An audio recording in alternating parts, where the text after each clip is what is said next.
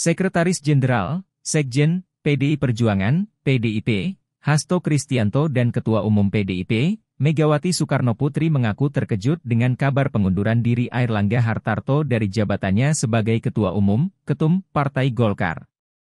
Hasto menyebut ini sebagai hal yang mengejutkan karena mundurnya Airlangga dinilai secara mendadak menjelang adanya pilkada serentak.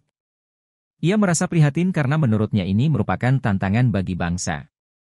Hasto juga mengungkapkan kerihatinan Megawati terkait dinamika politik nasional yang seperti ini.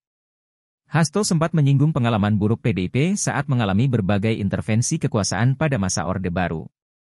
Tujuan dari intervensi pada masa itu adalah untuk mengerdilkan demokrasi dan menjauhkan prinsip-prinsip kedaulatan rakyat. Lebih lanjut, Hasto menegaskan PDIP tak ingin mencampuri urusan partai lain. Sebagai informasi, Airlangga Hartarto menyatakan pengunduran dirinya sebagai ketum Partai Golkar terhitung sejak Sabtu, 10.0.2024 malam. Terkait dengan uh, dinamika politik uh, nasional, ya khususnya yang sangat mengejutkan bagi kami adalah berita mundurnya Ketua Umum Partai Golkar Bapak Erlangga Hartarto. Beliau sosok komunikator yang baik dan membangun kerjasama politik yang baik di dalam uh, pilkada kami banyak bekerja sama uh, dengan Partai Golkar uh, selain dengan partai yang lain seperti Gerindra, PKB, P3, Perindo, Hanura dan juga Partai Amanat Nasional. Nah sehingga hal tersebut sangat e, mengejutkan karena ini dalam rangka pilkada serentak dan muncul kejadian politik yang dalam kategori kami suatu hal yang luar biasa yang menyentuh aspek kedaulatan partai.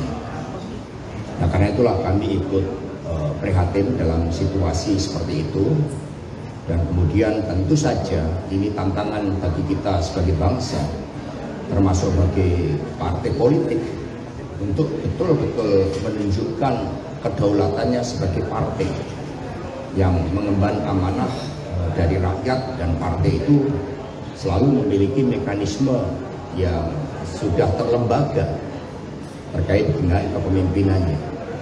PD Perjuangan eh, memiliki pengalaman buruk pada masa Orde Baru ketika berbagai intervensi-intervensi kekuasaan itu dilakukan yang tujuannya adalah untuk mengkerdilkan demokrasi menjauhkan prinsip-prinsip kedaulatan rakyat.